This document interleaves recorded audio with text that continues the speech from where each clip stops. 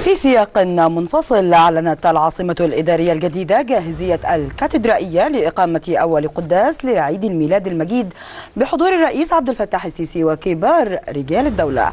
وقامت المصريون بجولة في الكاتدرائية للوقوف حول اللمسات الأخيرة بها.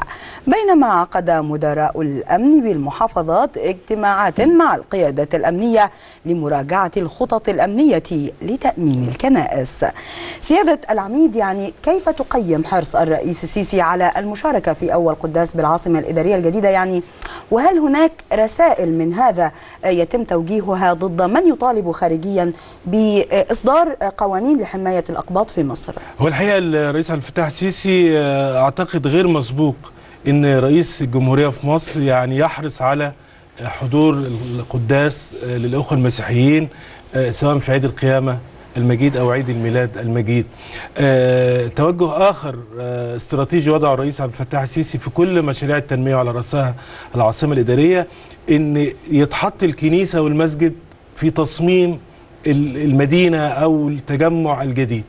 فدي الحقيقة بتوصل الموضوع بدل ما يبقى في مدينة وبعد كده تتعمل كنيسة وبعد كده أقول لك ويحصل اللي بيحصل في في في الطريقة القديمة اللي كانت مصر آه، شغالة بيها لكن اللي أنا عايز أقوله إن اهتمام الرئيس والوحدة الوطنية في مصر ده طبعنا.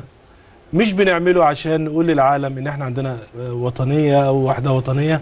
أما تقارير الكونجرس فالكونجرس يعني يحكم على أمريكا ولن يحكم على مصر. كنيسة وطنية شعب مؤمن بالوحدة الوطنية.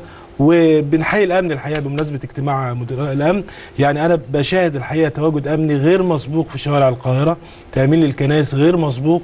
ونتمنى يعني ربنا يعدي الأيام بالذات أيام الأعياد لكن التأمين مستمر على مدار العام آه، عشان نوصل رسالة للجميع إن مصر قادرة على التصدي للارهابيين فيما يتعلق باستهداف المصريين بشكل عام.